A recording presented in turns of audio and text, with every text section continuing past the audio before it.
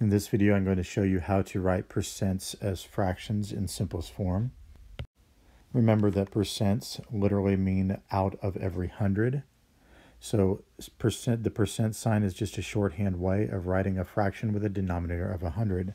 For question 1, 17% would be 17 out of 100, which would be choice A.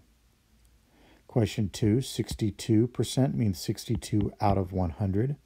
This is not in simplest form because 62 and 100 share a common factor of 2.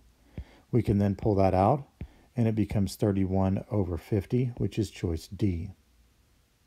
And question 3 is 125% as a fraction. Percent means out of every 100, so we have 125 out of 100.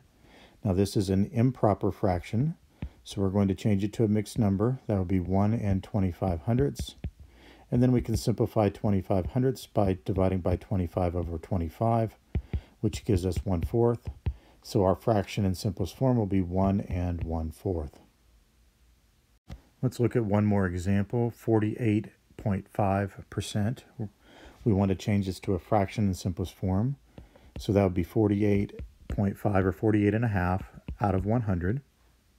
But we cannot leave a decimal in the numerator. So to get rid of that decimal, I'm going to multiply this by 10 over 10.